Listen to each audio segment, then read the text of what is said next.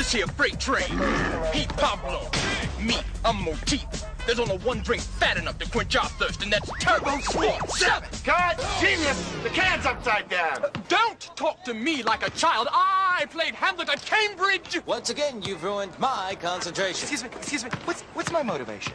When you're thirsty, trust your gut, not some actor. That's it. I am going to my trailer.